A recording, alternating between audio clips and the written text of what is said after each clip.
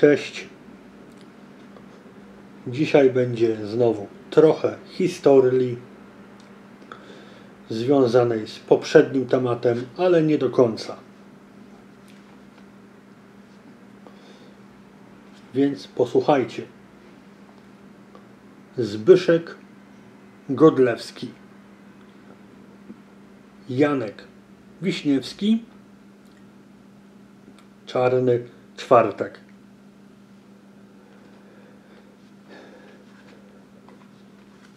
Zbyszek pochodził z Elbląga. Po ukończeniu szkoły zawodowej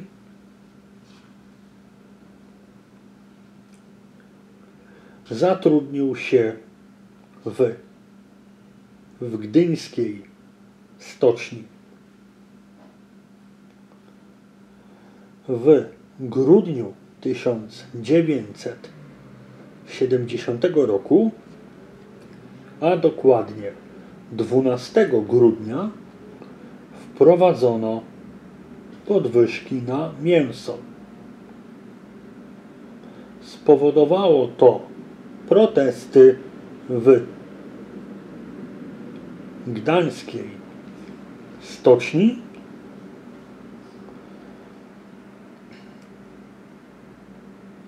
Piętnastego grudnia do protestu dołączyła się stocznia Gdynia.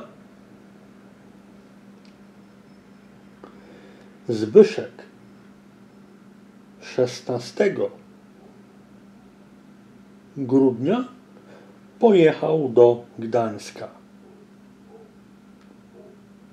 Zobaczyć, jak to wygląda.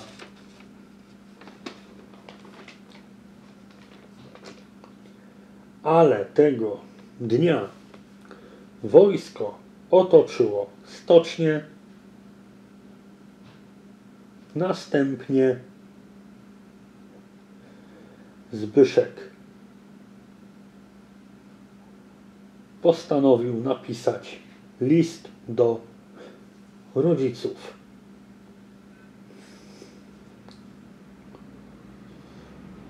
W liście było to Kochani rodzice, byłem dzisiaj w Gdańsku. Wszystko widziałem. Nie martwcie się, Zbyszek.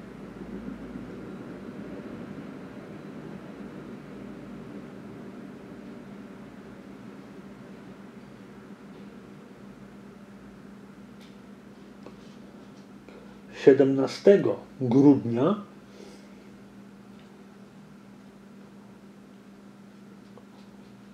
wojsko i milicja ostrzelali z kałasznikowów wysiadających z pociągu stoczniowców. Zginęło 10 osób. Wśród nich był Zbyszek Godlewski.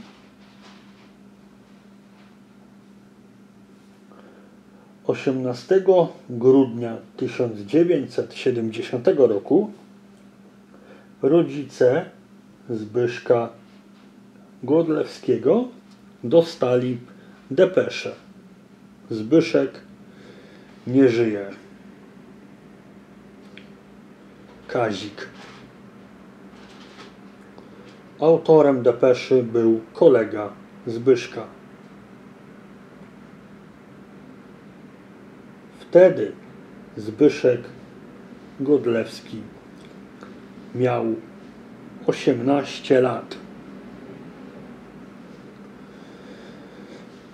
PZPR od samego początku ograniczał dostęp do informacji o zastrzelonym robotniku. W szpitalu nie pozwolono rodzicom zobaczyć ciała. Dopiero 20 grudnia do państwa godlewskich przyszli ludzie z UW, Urzędu Wojewódzkiego, że za chwilę będzie.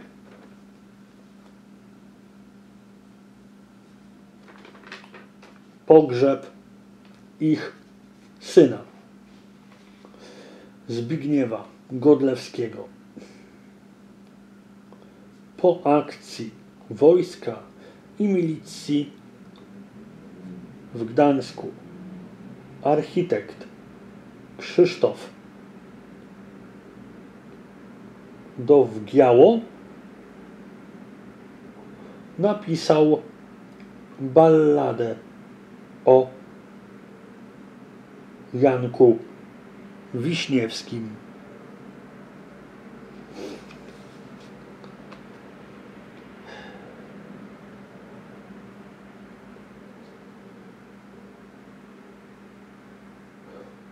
Poeta nie znał prawdziwego imienia i nazwiska, więc wymyślił Janka Wiśniewskiego.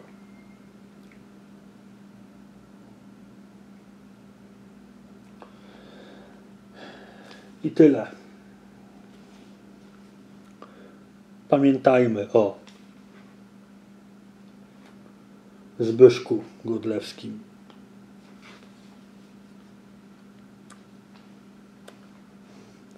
Do następnego. A jeszcze jedno.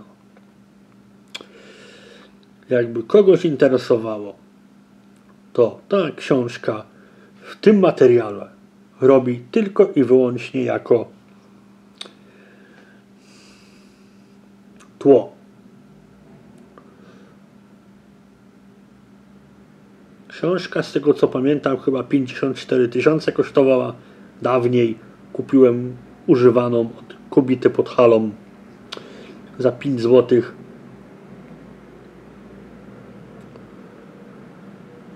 Po prostu warto wiedzieć, co ten skurczybyk, mówiąc delikatnie i tak dalej.